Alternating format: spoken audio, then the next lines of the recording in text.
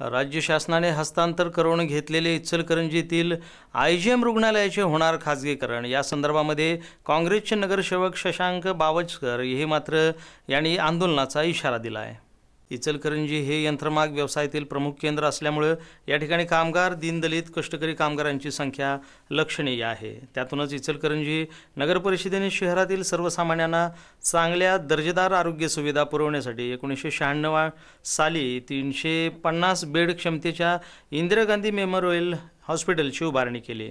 परंतु नंतरच्या काळात आवश्यक स्टाफ आणि अत्याधुनिक सुविधा देणे अशक्य बनल्याने राज्य शासनाने हस्तांतरण करून घेतलेले इचलकरंजीतील इंदिरा गांधी मेमोरियल हॉस्पिटल हे खाजगीकरण क- केले जाणार असल्याचं वृत्त आहे. आय जी एमच्या खाजगीकरणाचा निर्णय म्हणजे शहरातील सर्वसामान्य माणसांची शुद्ध फसवणूक असून उच्च न्यायालयाचा हा अवमान होणार आहे. म्हणून शासनाने आय जी एमच्या खाजगीकरणाचा प्रयत्न केल्यास शासनाच्या विरोधात उच्च न्यायालयात अवमान याचिका दाखल करण्यास जन आंदोलन उभारण्या उभारण्यात येईल असा इशारा काँग्रेसचे नगरसेवक शशांक बावचकर यांनी नगरविकास विभागाचे प्रधान सचिव यांना दिलेल्या निवेदनात म्हटलं आहे.